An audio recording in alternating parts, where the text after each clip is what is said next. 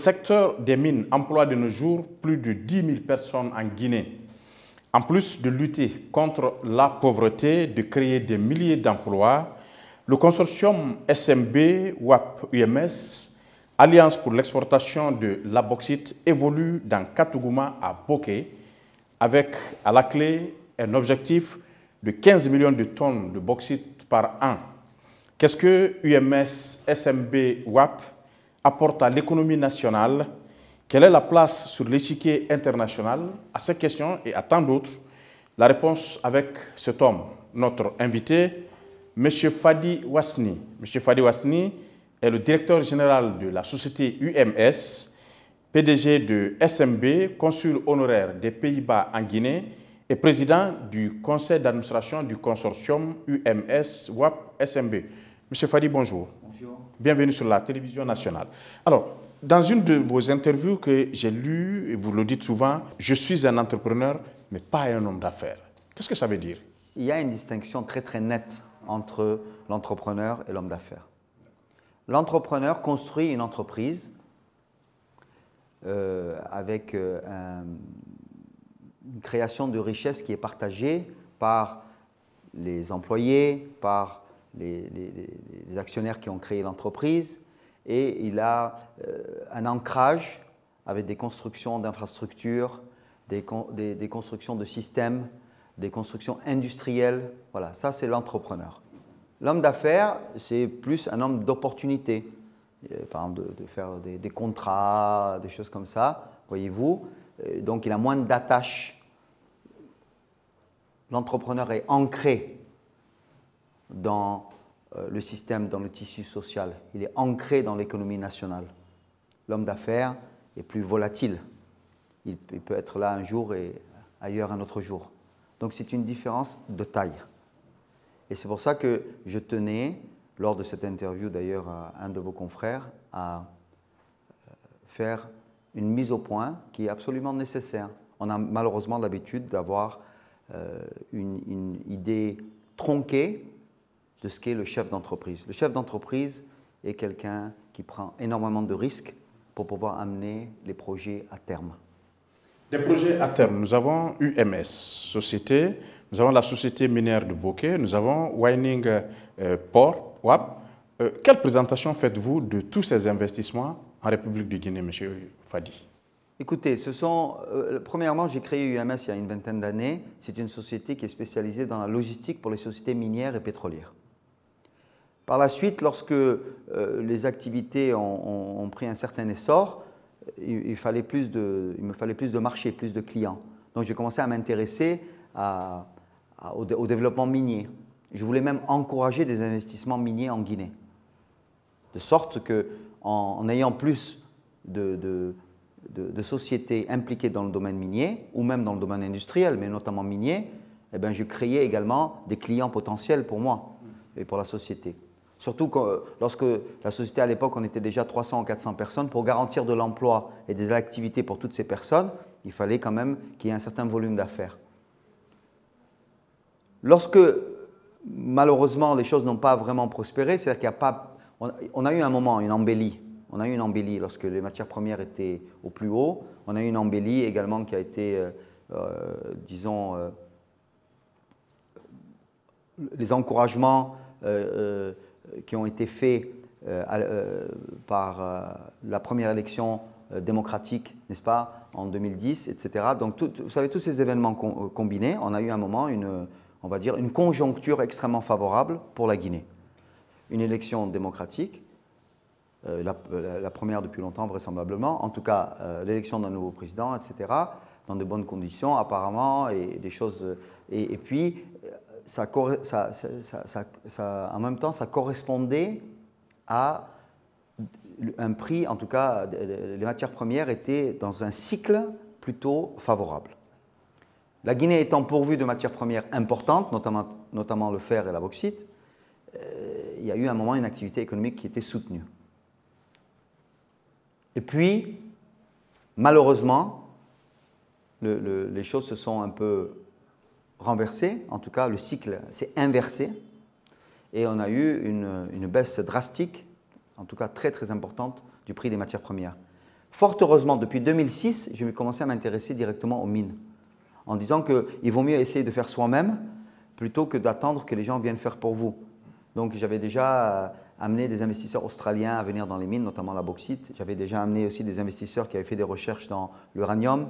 J'ai également eu la société Kumba Mining, un, grand groupe qui est venu aussi pour, le faire. J'essaie vraiment de faire de par le monde, ou souvent dans les conférences internationales, notamment en Afrique du Sud, à Indaba, d'essayer d'attirer les investisseurs.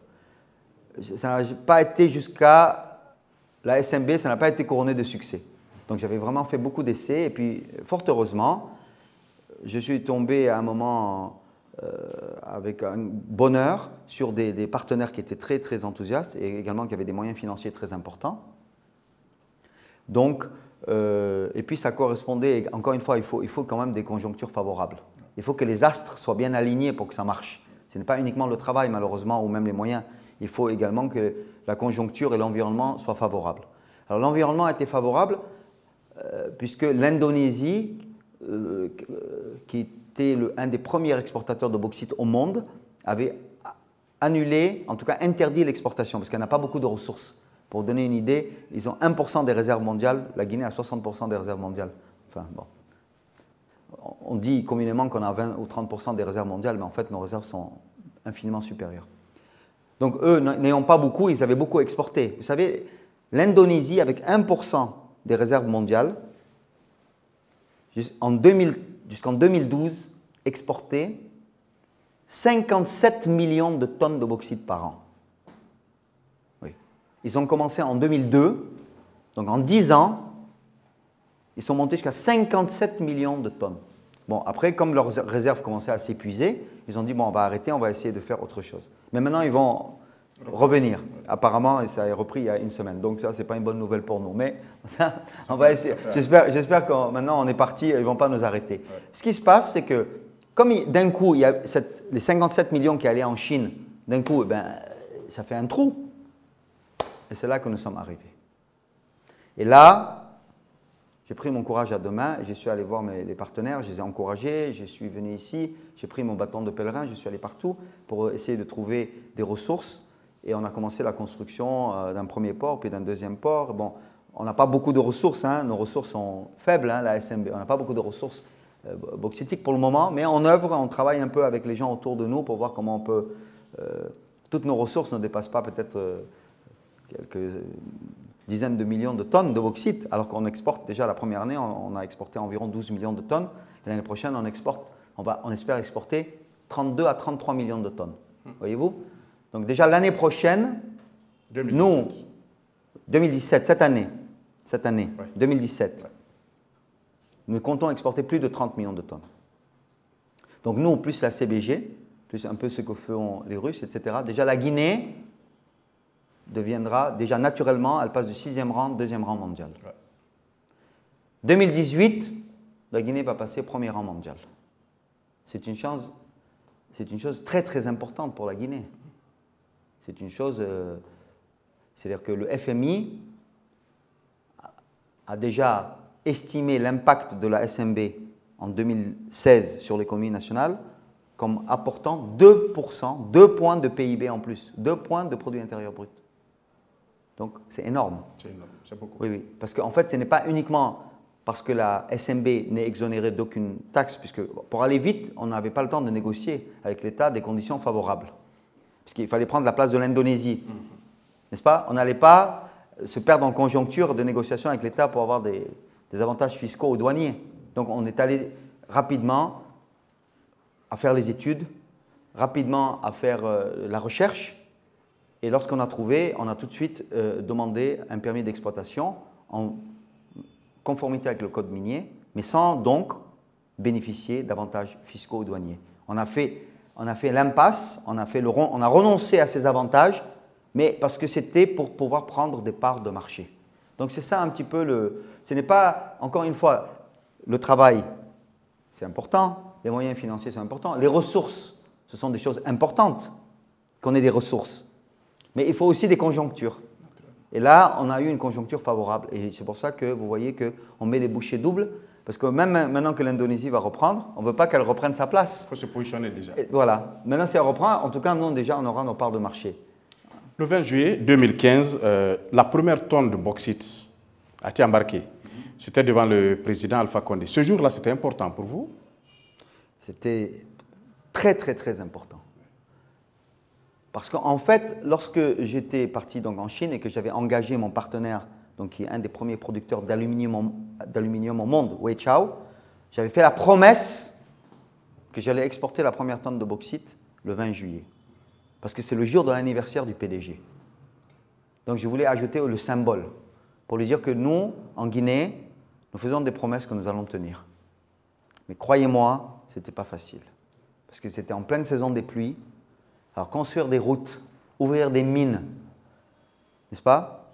Construire un port, faire des transbordements sur des barges et aller en mer pour mettre sur des bateaux, ce n'était pas une chose facile en pleine saison des pluies, mais nous l'avons fait. Et là, ça a été un tournant décisif puisque notre partenaire, nos investisseurs ont été rassurés sur notre capacité à tenir nos promesses. Ce que nous allons proposer aux amis téléspectateurs, cette grande cérémonie, c'était le départ de la première tonne de bauxite sous l'œil vigilant du président Alpha Condé. Regardez.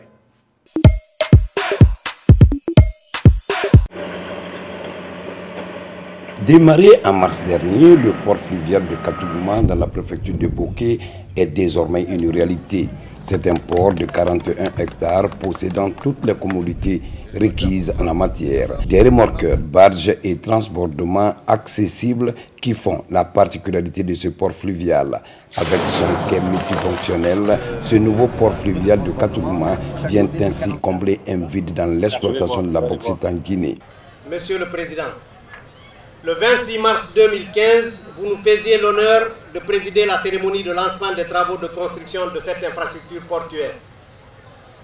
À cette occasion, vous aviez instruit toutes les parties prenantes, à savoir les investisseurs, les départements ministériels concernés, les services déconcentrés de l'administration, à veiller au respect des normes et du chronogramme défini pour la mise en œuvre du projet, en levant toutes les contraintes susceptibles d'entraver la bonne marche du chantier.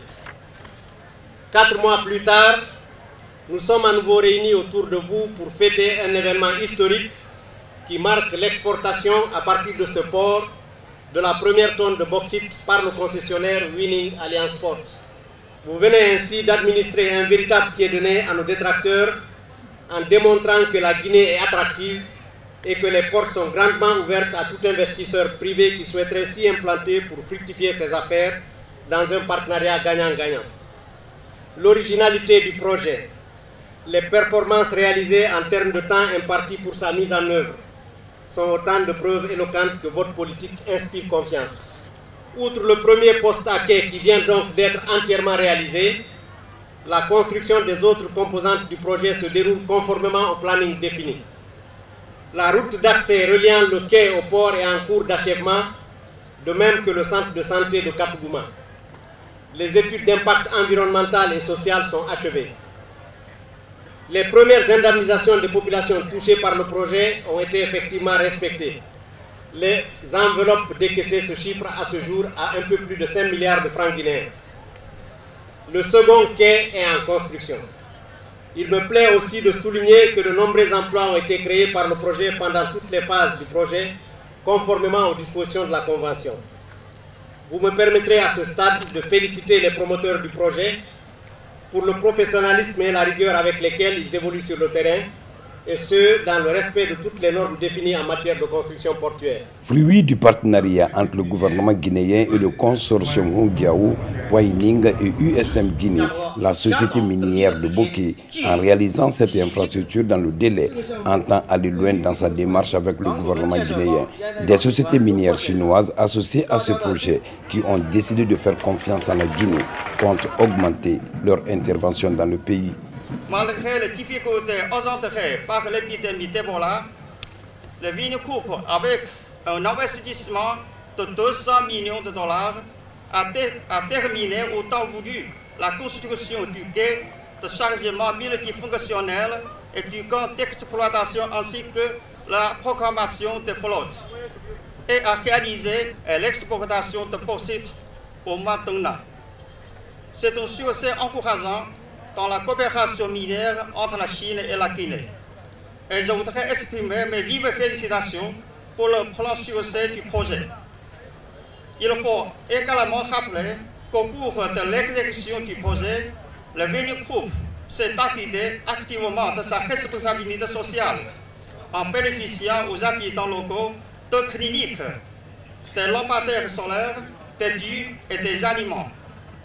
Je suis persuadé que le bon avancement du projet de Group va accélérer l'exploitation de bauxite de Guinée, créer des emplois pour la population de Bogué et intensifier nos échanges commerciaux en vue d'une coopération minière gagnant-gagnant. Avec un gisement de plus de 100 millions de tonnes, ici, il s'agit d'une exploitation semi-industrielle. Pour le ministre des Mines et de la Géologie, ce nouveau port fluvial, en plus de la société minière de Boké, peut servir d'autres partenaires évoluant dans le pays.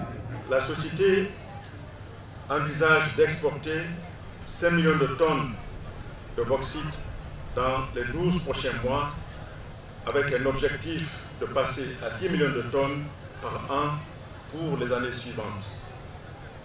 La production de la société sera exportée à partir d'un port fluvial que nous allons inaugurer aujourd'hui, d'une capacité annuelle de 30 millions de tonnes, comme cela a été dit par les promoteurs, et lequel port pourra servir aux besoins d'autres projets de la zone de Bokeh.